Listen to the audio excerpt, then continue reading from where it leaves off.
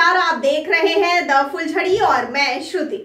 Electronic car, Tesla और space x के CEO Elon Musk जल्द ही भारत में अपनी नई कंपनी स्टारलिंक के ज़रिए लोगों को ब्रॉडबैंड, यानी इंटरनेट की सेवा शुरू करने के विचार में थी। लेकिन भारत सरकार ने स्टारलिंक के इन इरादों पर पानी फेर दिया। आखिर भारत सरकार के डिपार्टमेंट ऑफ़ टेलीकॉम ने स्टारलिंक पर रोक क्यों लगाई? इसका क्या कारण है और स्टारलिंक कंपनी क्या है? यह क्या काम करती है? सबसे पहले बात करते हैं स्टारलिंक कंपनी क्या है और यह कैसे काम करती है। स्टारलिंक एलन मस्क की कंपनी स्पेस एक्स का एक ड्रीम प्रोजेक्ट है, जो सैटेलाइट आधारित इंटरनेट सेवा उपलब्ध कराने का काम करती है। एलन मस्क ने साल 2015 में इस सर्विस का ऐलान किया था।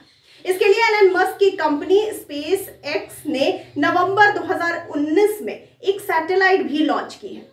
बीटा प्रोग्राम के ज़रिए कंपनी ने 2020 में कुछ लोगों को सर्विस भी उपलब्ध कराई थी। अब यह कंपनी भारत में अपना व्यापार शुरू करने जा रही है और इसके तहत उसने बुकिंग भी शुरू कर दी है। स्टारलिंक कंपनी का कहना है कि उसने भारत में लॉन्च से पहले पाँच हज़ार से अधिक प्री ऑर्डर मिले हैं।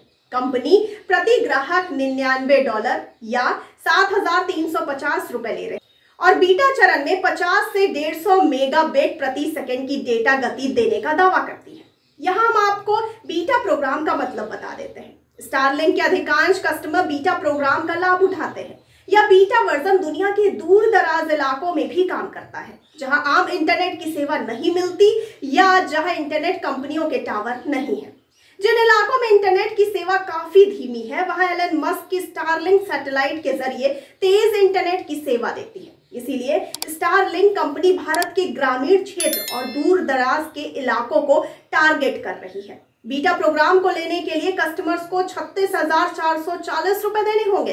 फिर करीब सात हज़ार रुपए मासिक किराया लगेगा। यानी स्टारलिंक की सर्विस काफ़ी महँगी है। जब आप आम ब्रॉडबैंड लगाते होंगे तो आमतौर पर आपको कुछ प्राथमिक चीज़ें मिलती होंगी।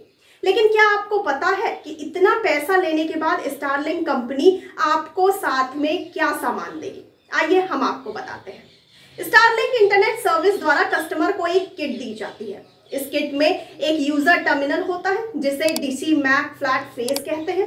इसके साथ ही कस्टमर को एक वाईफाई राउटर केबल एक पावर सप्लाई और माउंटिंग ट्राईपॉड दिया जाता है। अब बात करते हैं यह कंपनी काम कैसे करती है। स्टारलिंक इंटरनेट के लिए धरती के निचली कक्षाओं में भ्रमण कर रहे सैटेलाइट्स का इस्तेमाल करता है। कंपनी अपने space x Falcon nine rocket के ज़रिए इन सैटेलाइट्स को स्पेस में भेजती है। जून 2021 तक कंपनी के पास 1500 से अधिक सैटेलाइट्स थी। यह काफ़ी हद तक टीवी केबल सर्विस तकनीक पर काम करता है। इस इंटरनेट के लिए पहले यूज़र को एक डिश लगाना होता है, जो मिनी सैटेलाइट से सिग्नल रिसीव करता है। इस इंटरनेट से ऑनलाइन बफरिंग, गेमिंग और वीडियो कॉलिंग की सुविधाएँ बेहतर की जा सकती हैं। लेकिन भारत सरकार ने स्टारलिंक इंटरनेट कंपनी पर फ़िलहाल व्यापार करने पर रोक लगा दी है। सरकार की ओर से इस पर तर्क दिया गया है कि स्टारलिंक कंपनी को भारत सरकार द्वारा अभी तक देश में सैटेलाइट इंटरनेट उपलब्ध कराने में लाइसेंस नहीं दिया गया है। ऐसे में देश की जनता से अपील की गई है कि वे स्टारलिंक का सब्सक्रिप्शन नहीं खरीदेंगे। उन्हें नुकसान उठाना पड़ सकता है।